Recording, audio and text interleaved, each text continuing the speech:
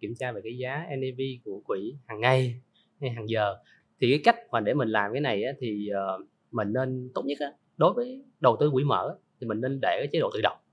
Tức là sao? Có nghĩa là mình cứ định kỳ hàng tuần hoặc hàng tháng mình cứ để cho nó tự động nó trích chích từ cái tiền tài khoản ngân hàng của mình. Mà mình không cần mình phải làm gì hết thị trường nó nó luôn vận động theo xu hướng đi lên. Tại vì những cái doanh nghiệp niêm yết trên cái thị trường à, cụ thể là thị trường chứng khoán Việt Nam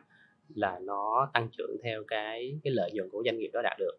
Thì hôm nay nó có thể giảm vì tin này tin kia nhưng mà về nói chung về về chung và dài hạn là thị trường luôn vận động theo xu hướng đi lên. Khi mà chúng ta quá tập trung vào một cái khoảng thời gian nào đó thì chúng ta lại bỏ lỡ cái cơ hội của nó. Khi mà mình rộng ra thì mình nhìn ra khoảng 5 năm 7 năm thì mình thấy là đa số là những cái công ty đó nó đều uh, là cái giá của nó là đi lên.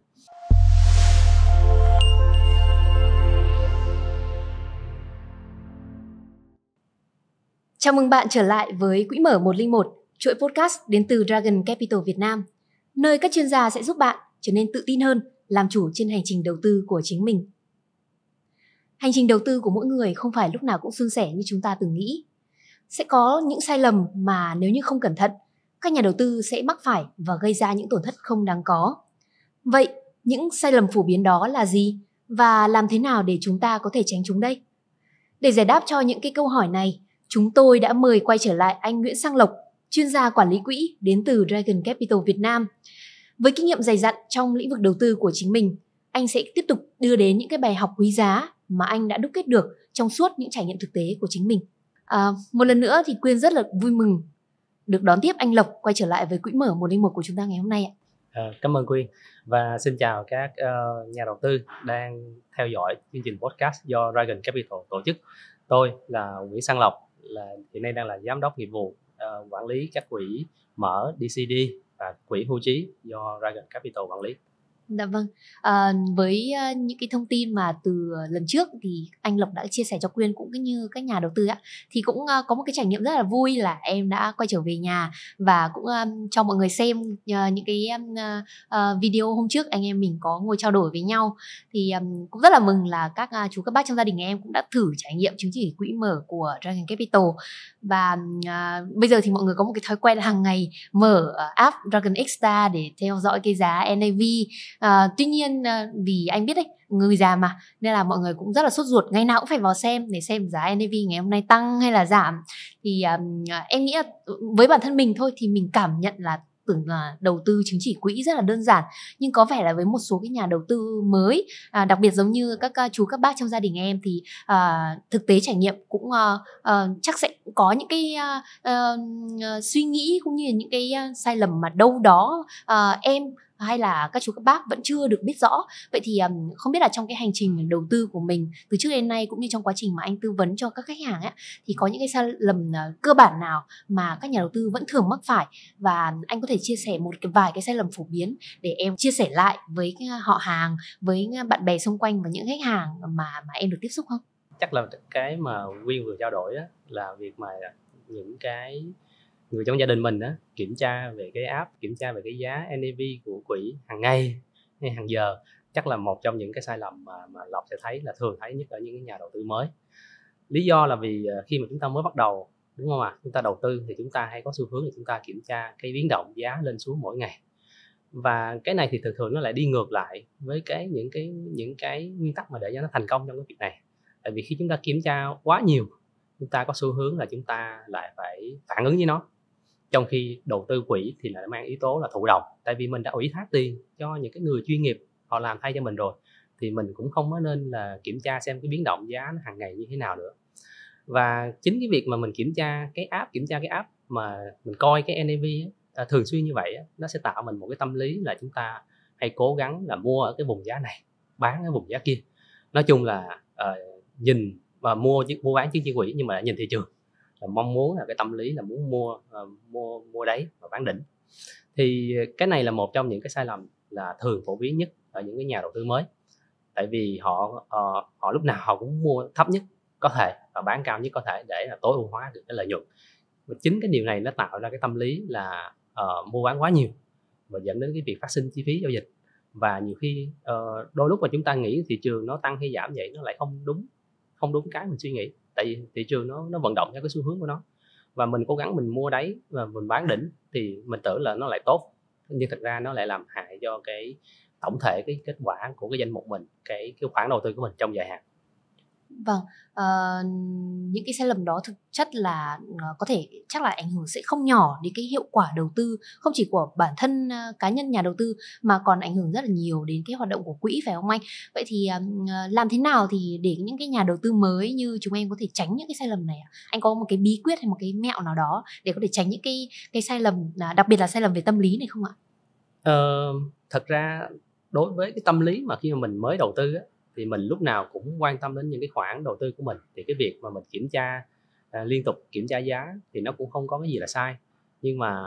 chính cái việc mà mình kiểm tra nhiều như vậy nó dẫn đến những cái cái hành xử của mình nó làm cho mình tạo ra cái tâm lý nó FOMO trên thị trường. Thì cái cách mà để mình làm cái này á, thì uh, mình nên tốt nhất á, đối với đầu tư quỹ mở thì mình nên để cái chế độ tự động. Tức là sao? Có nghĩa là mình cứ định kỳ hàng tuần hoặc hàng tháng mình cứ để cho nó tự động nó trích trích từ cái tiền tài khoản ngân hàng của mình. Mà mình không cần mình phải làm gì hết tại vì những cái lệnh nó là lệnh tự động và nó cũng sẽ tự, tự động nó trừ tiền trên cái tài khoản của mình. Thì để dẫn đến việc là chúng ta không phải mở cái app lên quá nhiều lần trong trong ngày hoặc là là mỗi ngày để chúng ta kiểm tra cái giá của nó. Thì hiện nay là chúng tôi là những cái trong cái app Dragon X của chúng tôi là chúng tôi đã có thể làm được những cái việc này.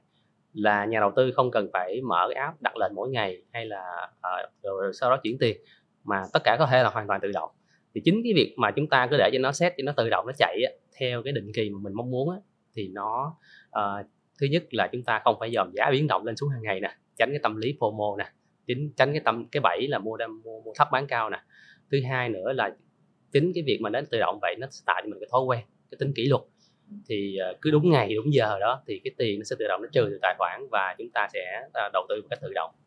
Ồ, uh, vậy là việc mà anh Lộc vừa chia sẻ về việc mà mình có thể đầu tư một cách uh, chủ động thông qua uh, thụ động uh, chính là việc uh, anh uh, hàng tháng hàng hàng tháng đúng không ạ? Thì mình uh, sẽ chủ động mà tự cài đặt một cái số tiền nào đó của bản thân mình để nó uh, tự động đầu tư vào chứng chỉ quỹ. Uh, quyên cảm giác như nó cũng là một cái kế hoạch của bản thân mình mà anh thường tư vấn cho các khách hàng cho các nhà đầu tư mới khi mà mới đầu tư và tìm hiểu về chứng chỉ quỹ. Uh, anh chắc hẳn cũng đã từng nghe đến một cái câu nói đó là uh, đầu tư mà không có kế hoạch thì giống như là mình ờ, đi trên một con thuyền mà mình không dùng bản đồ vậy ạ thì bên cạnh cái việc mà đầu tư anh ờ, vừa mới tư vấn cho quên và các nhà đầu tư mới về việc à, đầu tư tự động thì à, anh có thể giải thích rõ hơn về tầm quan trọng của việc ờ, đầu tư một cách có kế hoạch để cho các nhà đầu tư mới họ có thể hiểu rõ hơn khi mà họ dấn thân vào con đường đầu tư chứng chỉ quỹ không anh? Uh, khi mà mình đầu tư á, thì mình cần phải xác định cái lý do đầu tiên á, là tại sao mình phải đầu tư thì ờ, ở trong cái, cái, cái hành trình của mình đó chúng ta đó chúng ta đều có những cái mục tiêu nhất định trong cuộc sống của mình. Chẳng hạn như là đối với những cái người mà độ tuổi của lộc hiện nay là sẽ ờ, là đầu tư là cho con cái tương tương lai của, của con mình sau này nó sẽ đi học như thế nào. Thì mình xác định được là bây giờ đang còn nhỏ đúng không?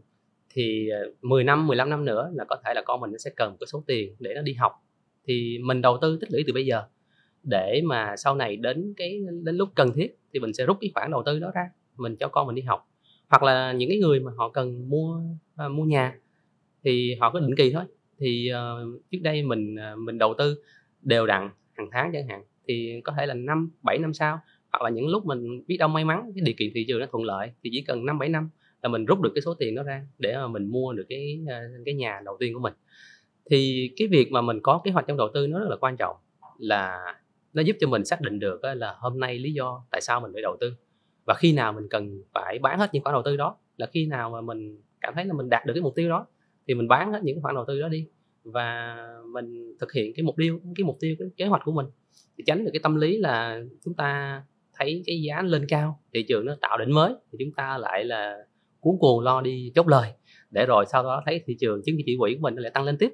thì cái đó nó cũng là giúp cái việc có có kế hoạch, nó giúp chúng ta hạn chế được những cái biến động xu thế uh, cái cái biến động hàng ngày của thị trường và từ đó là chúng ta sẽ uh, đạt được cái mục đích trong trong cái việc đầu tư của mình. Vâng, à, với giá một chứng chỉ quỹ à, từ 10 cũng đã từ 10 đến 100 nghìn thì rất nhiều nhà đầu tư nhỏ lẻ trên thị trường họ hoàn toàn có thể có khả năng để xây dựng một cái kế hoạch dài hơi hơn để tham gia vào chứng chỉ quỹ phải không anh? Và à, nhưng mà anh em mình cũng đã chia sẻ những câu chuyện à, đầu ký ạ, thì cái việc à, tâm lý ở trong à, đầu tư là một uh, vai trò đóng vai trò rất là lớn. Và đặc biệt là với các nhà đầu, đầu tư nhỏ lẻ phải không anh? Vậy thì ờ, trong suốt 15 năm qua khi mà anh đã uh, chinh chiến trên cái thị trường này thì anh có những cái bài học nào hoặc có những kỷ niệm nào đáng nhớ uh, khi mà thị trường biến động mạnh để anh có thể giữ được bình tĩnh và đưa ra những quyết định hợp lý khi mà anh đầu tư được? Anh có thể chia sẻ thêm cho em và các nhà đầu tư khác được biết không? Thì uh, trước giờ thì mình mình ở trong thị trường nó đủ lâu à, 10 năm 15 năm thì mình thấy được cái sự vận động cái sự lên xuống của thị trường. Và chúng ta và lúc đó mình mình thấy được đó là thị trường nó nó luôn vận động theo xu hướng đi lên. Tại vì những cái doanh nghiệp niêm yết trên cái thị trường à, cụ thể là thị trường chứng khoán Việt Nam là nó tăng trưởng theo cái cái lợi nhuận của doanh nghiệp đó đạt được. Thì hôm nay nó có thể giảm vì tin này tin kia nhưng mà về nói chung về về chung và dài hạn là thị trường luôn vận động theo xu hướng đi lên. Thì uh, khi mà có một cái sự kiện nào đó nó xảy ra nó làm cho giá những cái những cái công ty đó nó nó sụt giảm. Thì mình nghĩ là uh, nhiều khi mai nó là giảm tiếp. Nhưng mà đến lúc nào đó thì nó cũng sẽ ờ, hồi phục lại và nó tiếp tục cái cái xu hướng đi lên đó của mình. Thì khi mà mình uh, mình nhìn cái đó hàng ngày mình thấy được đó là chính là khi mà chúng ta quá tập trung vào một cái khoảng thời gian nào đó thì chúng ta lại bỏ lỡ cái cơ hội của nó. Khi mà mình rộng ra thì mình nhìn ra khoảng 5 năm 7 năm thì mình thấy là đa số là những cái công ty đó nó đều uh, là cái giá nó là đi lên. Thì chính là cái việc đó nó cho mình thấy là cái sự mình phải cái sự kiên nhẫn kỷ luật để giúp cho mình đó là phải ở lại thị trường. Thì nếu như ở thời điểm đó mình quyết định mình mình mình, mình bán đi thì mình đã không có thể nhận được là mình không thấy được cái cái cái, cái thành quả của của cái nó sau này vậy thì à, em có thể được hiểu là những cái lúc mà thị trường biến động mạnh như vậy thì uh, chúng ta nên có xu hướng nhìn xa hơn và biết đâu đó nếu như bạn còn có những khoản tích lũy bên ngoài bạn có thể đầu tư thêm vào chứng chỉ quỹ vào những lúc mà thị trường biến động mạnh đúng không anh? Cái đó là nhiều khi nó lại là cái cơ hội cho mình. Tại khi mà thị trường nó giảm vậy thì mình lại là mua được là với cái giá tốt. Thì ở đây là mình đang nói về sản phẩm là quỹ mở thì khi mà cái thị trường nó giảm vậy thì cái dĩ nhiên là cái cái quỹ mở nó cũng sẽ giảm hay khó mà tránh được cái xu hướng chung của thị trường nó cũng sẽ giảm giá theo thì đó là nhiều khi nó là cái cơ hội để mình được tích lũy nhiều hơn một cái, những cái chứng chỉ quỹ mở ở cái vùng giá thấp. Thì khi mà cái thị trường nó hồi phục lại thì chính là những cái sản phẩm, những cái chứng chỉ quỹ mà chúng ta tích lũy được ở vùng giá thấp đó, nó sẽ đóng góp rất là lớn trong cái việc mà nó tăng trưởng trở lại. Giả sử ngày xưa chúng ta chỉ có một triệu đồng thôi, chúng ta mua cái cái giá chứng chỉ quỹ là 20 ngàn, đúng không? Thì mình chỉ được 50 chứng chỉ quỹ. Nhưng mà khi dù nó giảm về 15 ngàn 10 ngàn thì chúng ta sẽ tích lũy được nhiều hơn và khi mà thị trường nó hồi phục nó quay trở lại thì ờ, chính là những cái sự tích lũy của chúng ta nó sẽ mang lại cái lợi nhuận lớn cho cái tổng thể của cái danh mục của mình dạ vâng. khoản đầu tư của mình vậy thì uh, thông qua chia sẻ của anh lộc thì quyên lại có thêm một cái bài học nữa và chắc hẳn là nhà đầu tư uh, hiện đang xem podcast của chúng ta đã có thêm một cái bài học rất là lớn đó chính là khi mà cái thị trường biến động mạnh thì thay vì bạn uh, uh, vội vàng bạn lo sợ bạn bán đi chứng chỉ quỹ ngay lập tức thì bạn có thể uh, chờ đợi cân nhắc và tìm một cái điểm rơi hợp lý nào đó để mình có thể tích lũy thêm phải không anh? Thì mình có thể là mình có cái mục tiêu cho mình chẳng hạn như là mình cảm thấy khi mà thị trường nó giảm à, tương đối khá thì thay vì ngày xưa là một tháng mình một tuần gì đó mình mua một triệu thì bây giờ mình có thể cân nhắc đến chuyện mà giải ngân mua nhiều hơn với những cái khoản chúng ta tiết kiệm được chẳng hạn như là chúng ta có thể mua một triệu hai hoặc một triệu rưỡi thì uh, khi mà thị trường nó giảm vậy thì chúng ta sẽ tích lũy được nhiều hơn Vâng, à, em cũng có nghe anh Lộc chia sẻ là ờ, anh ờ, nhắc đến hai từ kiên nhẫn và kỷ luật. Thì à, em nghĩ là chắc hẳn anh cũng đồng ý với quan điểm đây là một trong những cái yếu tố quan trọng nhất trong cái quá trình đầu tư của bất kỳ một nhà đầu tư nào. À, anh có thể chia sẻ thêm về những cái đức tính này thì à, anh có thể rèn luyện và anh đã rèn luyện như thế nào trong suốt những hành trình đầu tư của anh trong suốt 15 năm qua không ạ? thì à, lúc mà mình mới tham gia cái cái cái, cái ngành quản lý quỹ này những cái năm đầu đó thì mình cũng chưa thấy bản thân mình cũng chưa thấy được cái chuyện này. Mình không nghĩ được là những cái thời điểm đó nó quan trọng cái chuyện mà kiên nhẫn và kỷ luật nó quan trọng như thế nào. Nhưng mà càng về sau á, khi mà mình đi qua được nhiều cái chu kỳ kinh tế rồi á, thì mình thấy là nó nó, nó nó nó rất là hay. Tại vì chính cái việc mà mình kiên nhẫn mình nhìn trong dài hạn và mình kỷ luật mình mình mình đầu tư định kỳ á thì uh, uh, nó giúp cho cái thành quả của mình nó đầu tư của mình rất là tốt uh, trước đây á, thì mình cũng uh, mình mình nghĩ là khi mà thị trường giảm á, thì uh, mình mua tích lũy nó sẽ như thế nào. Nhưng mà sau khi mà đi qua nhiều chu kỳ á lộc thấy là đúng là chỉ có những lúc mà nó giảm vậy mình mới mua được những cái giá nó nó nó nó, nó tốt. Và khi mà nó đi qua được nó mang lại cái lợi nhuận những cái khoản đầu tư đó nó mang lại cái kết quả rất là tốt cho mình. Cái chuyện mà mình uh, kiên nhẫn ở đây nó nói là cái điều là khi mà uh, nhà đầu tư thì ai cái xu hướng nào họ cũng mong muốn là có cái lợi nhuận nó nó lớn nhất đúng không ạ? Cái ờ, cái tiền lời nó nhiều nhất. Nhưng mà uh, mình phải hiểu cái việc mà nó tích lũy nó phải có cần thời gian của nó. Tại vì hôm nay là ví dụ như bây giờ mình nói mình chỉ có 100 đồng đi mình nói mình lời 100 phần trăm. Trên trăm đồng đó thật ra nó cũng chỉ có 200 đồng thôi 200 ngàn gì đó thôi. Nhưng mà nếu như mà mình tích lũy mình kiên trì mình kiên nó tích lũy cái số vốn qua nhiều năm mình mua định kỳ mà mình mua hàng tháng hàng tuần tích lũy qua nhiều năm. Thì ví dụ như nó chỉ cần mình tích lũy nó khoảng lên một tỷ đồng chẳng hạn này thì chỉ cần chỉ cần một phần trăm của nó là mình đã có 10 triệu đồng rồi. Thì chính cái việc mà mình kiên trì như vậy tích lũy uh, người ta gọi là gấp gió hành bão ngày qua ngày số tiền cái số vốn mình lớn hơn thì chính cái phần trăm mà nó mang lại uh, rất là nhỏ thôi nhưng mà nó mang lại số tiền đổi rất là lớn. Còn nếu như mà mình chỉ là mong muốn vào thị trường mình kiếm cái cơ hội những cái lợi nhuận ngắn hạn thì với cái số vốn hiện giờ nếu mình không tích lũy thì cho dù mình có lời trăm phần trăm thì mình cũng đâu có được bao nhiêu. Dạ vâng. À,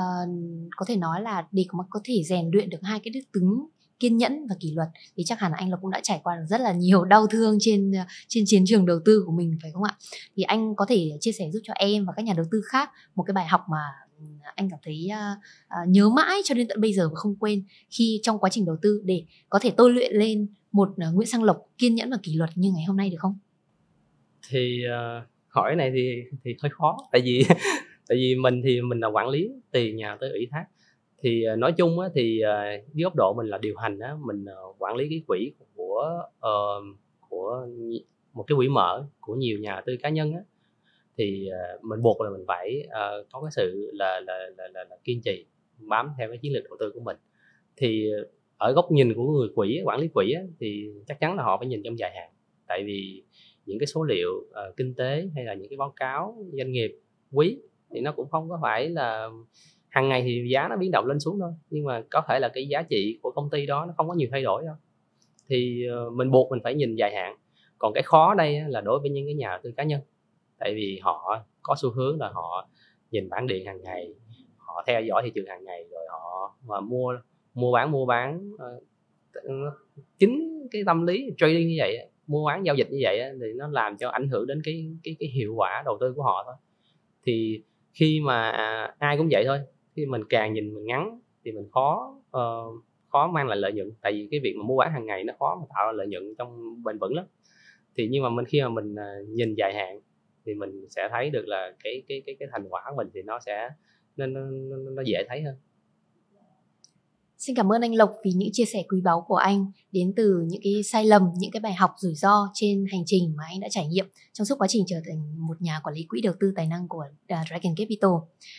À, các bạn thân mến, như anh Lộc vừa chia sẻ với chúng ta, những cái sai lầm, những cái bài học và đúc rút ra hai từ đó chính là kiên nhẫn và kỷ luật sẽ giúp cho các bạn đạt đến tự do về tài chính trong tương lai.